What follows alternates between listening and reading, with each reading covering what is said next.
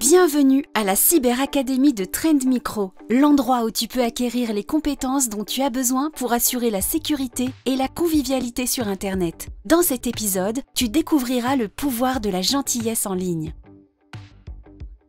Savais-tu que tout ce que tu fais en ligne peut être suivi? Tout ce que tu cherches, regarde, clique, télécharge, joue ou tape. C'est comme si tu écrivais sur un mur avec un marqueur permanent et que tu signais avec ton nom pour que le monde entier puisse le voir. Imagine que quelqu'un puisse voir tout ce que tu as dit et fait en ligne, tout ce que tu as créé et partagé, tout ce que tu as aimé, commenté, et même les moments où tu as fait preuve de gentillesse envers les autres. Qu'est-ce qu'on apprendrait sur toi? Tout ce que tu fais en ligne donne une idée de qui tu es. Examinons le pouvoir de la gentillesse en ligne.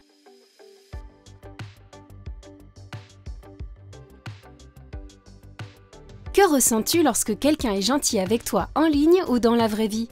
Si quelqu'un te dit que tu es doué pour quelque chose, ou t'offre de l'aide lorsque tu en as besoin, ou qu'il s'assoit avec toi au déjeuner lorsque tu es seul, ou si quelqu'un prend ta défense lorsque quelqu'un n'est pas gentil avec toi. On se sent vraiment bien quand les gens sont gentils avec nous. Et si quelqu'un n'est pas gentil avec toi en ligne ou dans la vraie vie, si quelqu'un se moque de toi tout le temps, ou dit que tu n'es pas doué pour quelque chose, ou qu'il te traite de tous les noms et que d'autres se joignent à lui, peut-être qu'il ne t'invite pas à certaines choses, ou alors, si tu vois que cela arrive à quelqu'un d'autre, il se peut que tu ne te sentes pas bien dans ta peau lorsque quelqu'un est méchant avec toi.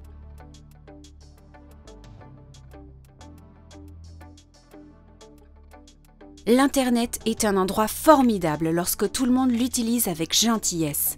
Mais que peux-tu faire si quelqu'un n'est pas aimable avec toi en ligne? Tout d'abord, demande-toi pourquoi cette personne n'est pas aimable. Peut-être est-elle jalouse, contrariée par quelque chose d'autre, ou ne s'est-elle pas rendue compte qu'elle était blessante? Ignore la personne, économise ton énergie et ne réponds pas. Peut-être qu'elle passe une mauvaise journée, signale-la ou bloque-la sur l'application pour l'empêcher de recommencer, surtout s'il s'agit de quelqu'un que tu ne connais pas ou si cela te contrarie vraiment. Fais une pause avec ton appareil. Sors, écoute de la musique ou joue avec d'autres amis pour t'aider à te sentir mieux. Parle à un adulte en qui tu as confiance. Il t'écoutera et pourra peut-être t'aider à trouver la marche à suivre. Sais-tu que tu peux faire d'Internet un meilleur endroit chaque jour? Il te suffit d'y apporter ta gentillesse. Si tu vois une personne malveillante en ligne, voici ce que tu peux faire pour l'empêcher de se propager.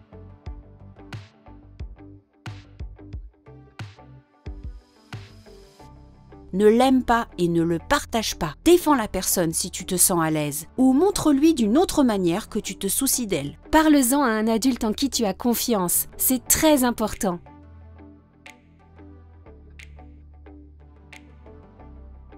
ta gentillesse peut aider une personne à se sentir mieux. Parfois, nous pouvons commettre des erreurs et manquer de gentillesse envers les autres en ligne. Si tu as manqué de gentillesse en ligne ou dans la vraie vie, il n'est jamais trop tard pour t'excuser. Cela demande du courage, mais c'est la bonne chose à faire. De plus, tu montres aux autres comment faire. N'oublie pas que tout ce que tu fais en ligne donne une image de toi, alors sois gentil avec les autres en ligne. Si quelqu'un n'est pas gentil avec vous, demande-toi pourquoi il n'est pas gentil, ignore-le et économise ton énergie. Signale-la et bloque-la si elle te dérange vraiment. Fais une pause avec ton appareil.